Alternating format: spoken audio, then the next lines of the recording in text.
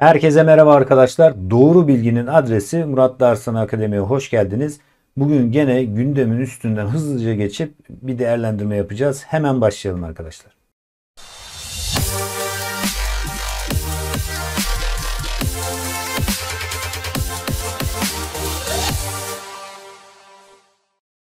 Evet konu başlıklarımız ne arkadaşlar?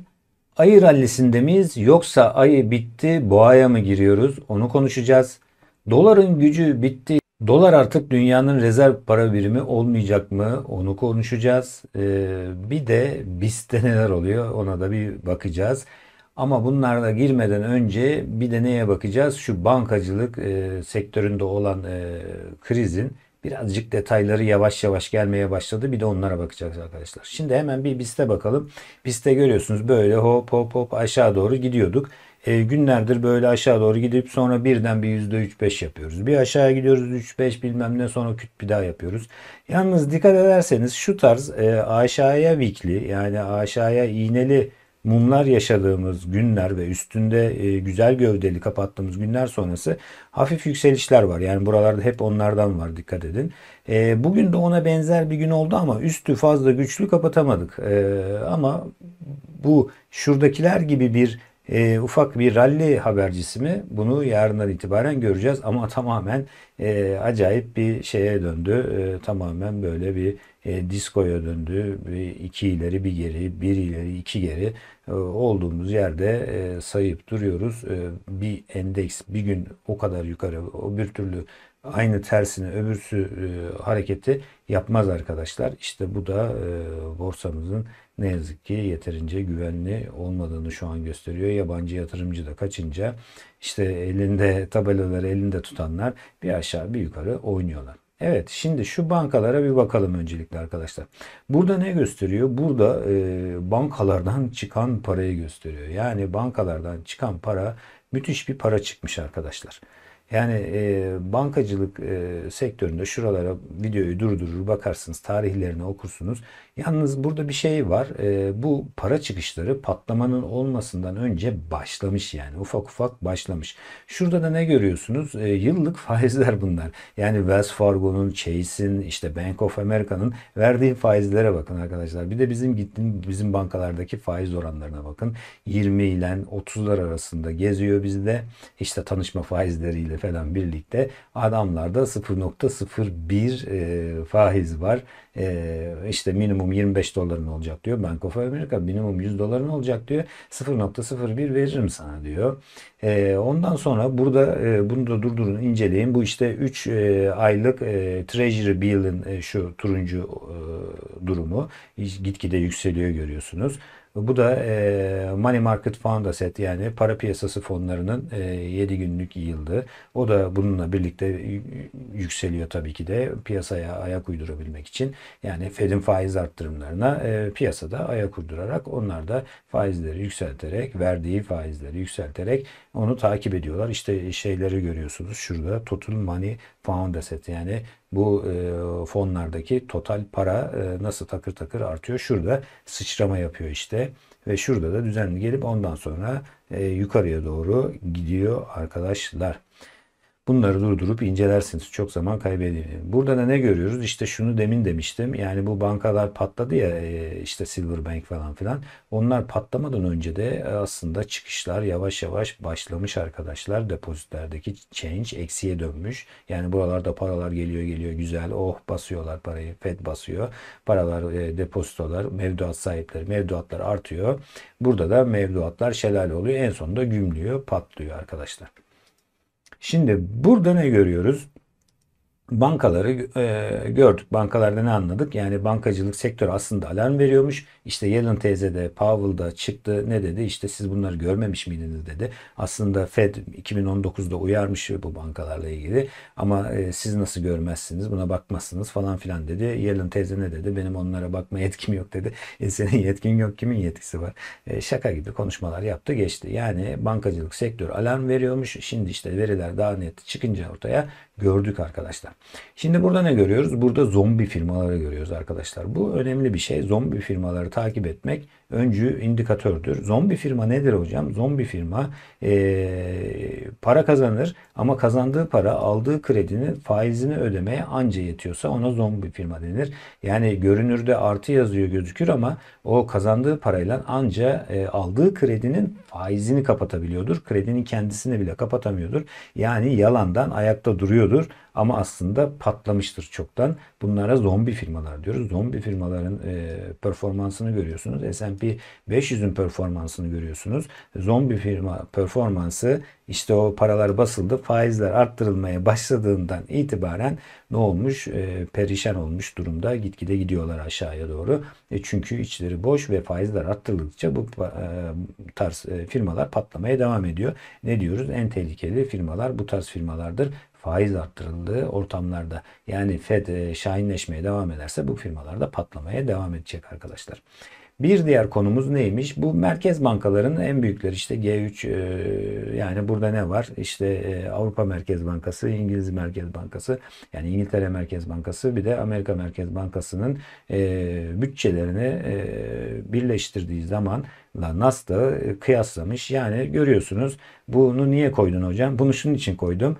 Ne kadar ekmek o kadar köfte yani merkez bankaları ne kadar piyasaya para verirse markette aynı onu takip ederek yükselmeye devam ediyor. Görüyorsunuz merkez bankaları nasıl yataya girdiğinde markette yataya giriyor. Merkez bankaları para bastığında markette roketliyor. Merkez bankaları bütçelerini daralttıklarında markette geri geliyor. Şimdi böyle bir yatayladı. Şurada bankacılık krizinde birazcık e, hareketlendirdiler merkez bankaları. Bu arkadaş da azıcık para girişi olunca hemencik e, ucunu kaldırdı.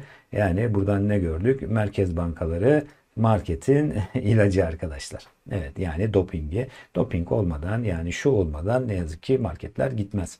Bir gelelim diğer grafiğimize. Bu ne arkadaşlar? Fed'in e, bütçesi. İşte ne oluyordu? E, geçen Nisan ayından beri e, düşmeye, daraltmaya gidiyordu değil mi? Quantitative tightening yani piyasadan parayı emmeye başlamıştır. Çok fazladan bastığını emdi, emdi, emdi, emdi. O emdiğinin neredeyse yarısını iki haftada geri basmıştı. Sonra sistem dengelendi. Sistem dengelendikten sonra şimdi dikkat edin ucunu tekrar aşağıya çevirdi geçen hafta itibariyle. Bakalım tekrar buradan böyle gidecek mi yoksa buradan tekrar bir e, zıplama görecek miyiz? Bunu ilerleyen günlerde veriler güncelledikçe göreceğiz. Ama buradan ne anladık? Fed bankaları kurtarabilmek için bir senedir e, yaptığı, uyguladığı daralma politikasını ne yazık ki çöpe atıp e, tekrar e, para basmak zorunda kalmış ve onları kurtardıktan sonra şimdi tekrar ufacık bir aşağıya geri çekilme yaşamışız. Gelelim buraya. Burada ne gösteriyoruz arkadaşlar? İşte bu da money market funds yani para piyasası fonlarına giriş arkadaşlar. Görüyorsunuz ne kadar roket bir giriş var. Para akıyor yani para piyasası fonlarına. E, bakalım bunun sonu nereye gidecek? Gelelim öbür konumuza. Öbür konumuz ne? Dolar artık acaba gününü, gücünü kaybetti mi? İşte dünyanın rezerv para birimi artık olmayacak mı? Neler oldu arkadaşlar son iki haftada? E, gene kalemimizi alalım. Ne olmuş? Arabistan yani Arabistan derken burada kastımız ne arkadaşlar? Tabii ki de şey e, buna yazdırmıyormuş. E, Suudi Arabistan yani e, Suudiler petrol için yuan almayı e, düşünmeye kararı almışlar. Yani petrolü yuandan e, alma kararı almışlar ama düşünme kararı. Yani daha netleşmemiş ama düşünüyorlarmış. O bile bir adım. Çin ve Fransa DNG anlaşmasını yuan üstünden yapmış. Rusya Çin e, yuanını ana para birimi olarak kullanmayı düşünüyormuş. E, Araplar Çin ile ortak petrol rafinerisi yapmayı 83.7 milyar yuan üstünden anlaşmış. Yani sözleşme dolar üstünden anlaşılmamış, yuan üstünden anlaşılmış. Çin ve Brezilya aralığındaki ticareti yuan üstünden yapmakta anlaşmış.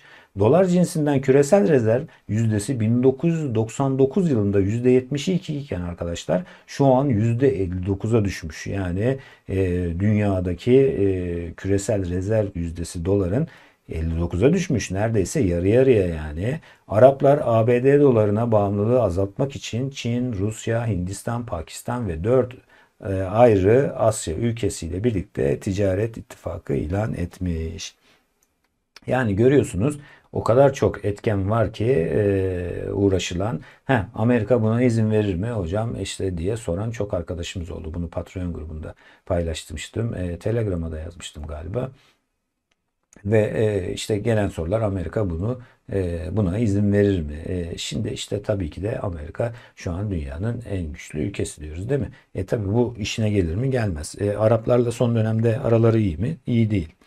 Hatta Biden hatırlarsanız bu işte e, enflasyondan kurtulabilmek için, petrol fiyatlarını aşağı çekebilmek için bir e, Orta Doğu gezisi yapmıştı. Orada da e, suratına pasta yiyip geri gelmişti. Hiçbiri kendisine yardımcı olmamıştı. Ondan sonra da ne yapmak zorunda kalmıştı? Stratejik rezervi harcamak zorunda kalmıştı arkadaşlar.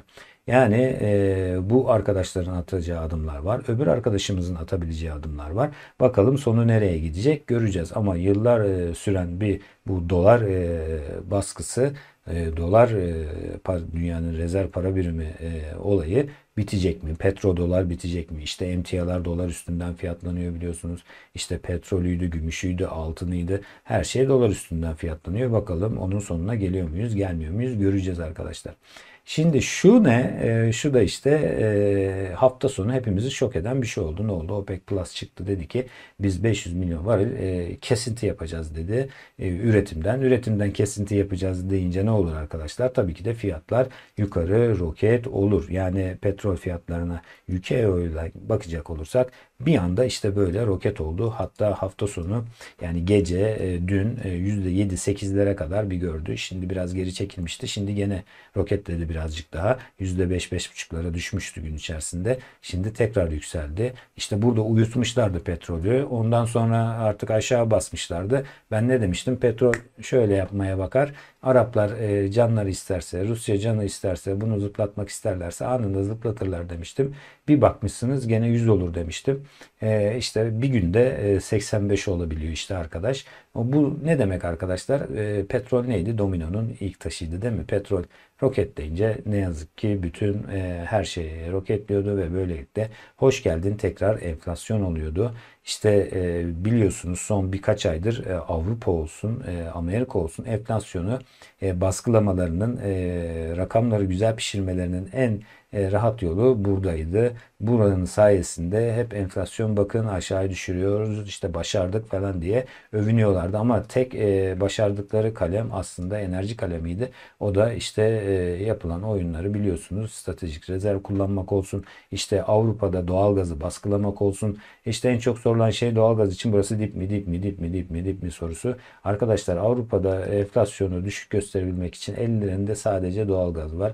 Doğalgazı o yüzden basıyorlar aşağıya. E, Almanya'da yiyecek enflasyonu %22, İspanya'da da 20 civarlarında.